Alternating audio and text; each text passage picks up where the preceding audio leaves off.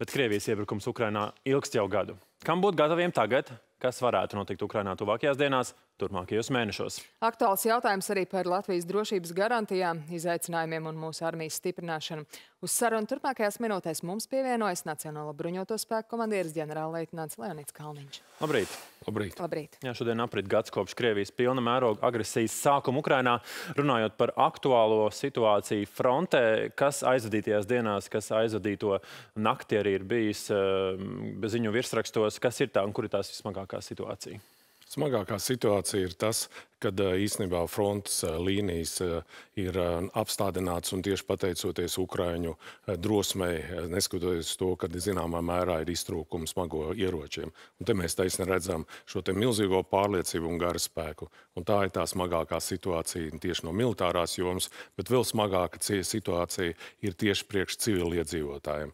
Civiliedzīvotāji, kuri gaida uzvaru, civiliedzīvotāji, kuri grib mieru, civiliedzīvotāji, kuri grib celt savu ekonomiku ekonomiku un labklājību. Šī nedēļa tika gaidīta ar ārkārtīgi lielām bažām par to, ka Krievija varētu sākt īpaši masīvu ofensīvu. Armijas pārstāvi, arī militārie pārstāvi teica, ka eksperti, ka nu, patiesībā tā lielā ofensīva ir sākusies.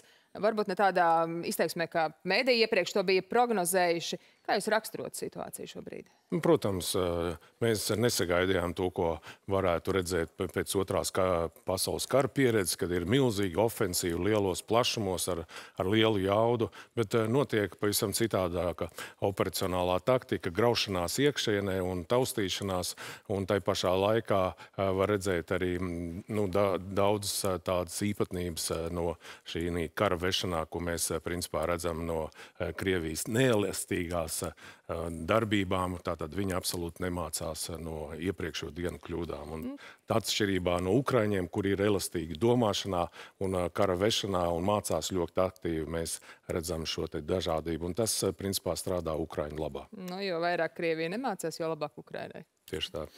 Bet, protams, aktuāls jautājums arī par Latvijas drošību, par mūsu drošības garantijām šajos ģeopolitiskajos apstākļos. Nu, cik labi ekipēta, cik labi tāda prasmīga ir mūsu armija? Nu, es ar pilnu pārliecību varu pateikt par to, ka skatoties no ekipējuma viedokļa, no apbruņojuma viedokļa, mēs šodien esam daudz labāk nekā tas bija 2014. gadā, kad notika lielākā invāzija pirmā tieši Ukrainā. Mēs mācāmies, mēs papildinām savu skaitlisko sastāvu, un tas ir spilgts piemērs, kādā veidā sabiedrība atbalsta aizsardzības sistēmas pilnveidošanu, iestājoties tieši zemesardzē. Mūsu sabiedrotie šeit skaitliski katru mēnesi palielina savu dalību, ne tikai skaitliski, bet arī izvietojot šeit eh, īpaši nepieciešams eh, bruņojums kā pretgaisa aizsardzības sistēma no Spānijas, piemēram. Eh, mums aktīvi iet darbība, lai mēs izveidotu Kanādas vadīto brigādi. Mēs attīstam treniņu vietas, un mēs ieguldāmies tieši sabiedrībā, lai izskaidrotu, kāpēc mums tas ir ļoti nepieciešams. Vai jūs varat atklāt, cik tad īsti šobrīd ir sabiedroto karavīru šeit pie mums? Pār pa 3000. Pāri 3000. Diezgan iespējams skaits.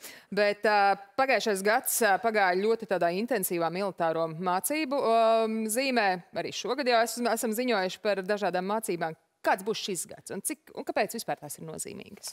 Ļoti interesants fakts. Tikko mēs saņēmām no mm, tādu pētījumu un paskatīties, cik, ko ir sabiedrība ievērojusi.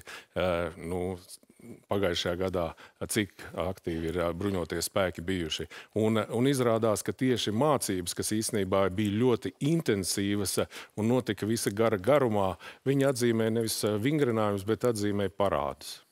Tātad to parāžu skaits, acīm redzot, bija daudz mazāks nekā tās mācības un vingrinājumi, kas īstenībā pie kurām viņi jau ir pieraduši.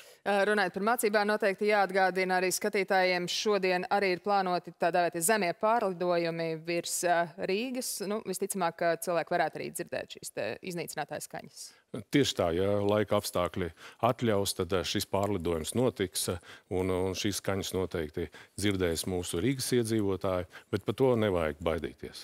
Vakar, starp citu, svinīgā ceremonijāla ievārdē tika pieņemti helikopteri Black Hawk. Nu, cik liels, cik plats solis tas ir mūsu Latvijas gaisa spēju attīstībā? Īstenībā tas ir ļoti liels solis. Mēs uh, pilnībā jau esam atteikušies no padomu laika ražotās uh, tehnikas. Šis bija pēdējais, kas īstenībā atradās mūsu bruņojumā. Tie bija MI-17 un MI-2, kuri tagad jau atrodas Ukrainā. Bet šis ir tāds uh, pirmais solīts tādā garajā ceļā, lai mūsu pilnveidoties tieši militārās gaisa spējas. Un es esmu pārliecināts, ka nākošajos gados mēs redzēsim vien vairāk šo spēju, un tas būs daudz plašāks ne tikai helikopteru jomā, tie būs pretgaisa aizsardzības līdzekļi, tie būs bezpilota līdaparāti, tie būs agrās brīdināšanas sistēmas uzlabojumi.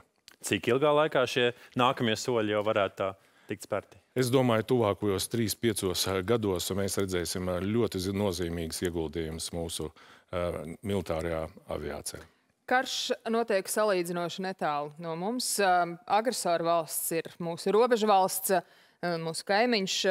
Tas, protams, arī visu spriedzi vēl tikai sabiedrībā zināmā mērā vairo. Bet tas būtiskais jautājums, ko jūs ieteiktu mūsu, mūsu cilvēkiem, kā neļauties varbūt izmisumam reizēm, varbūt bailēm reizēm, kā uh, skaidri izvērtēt uh, to, kas ir īsts un to, kas ir dezinformācija.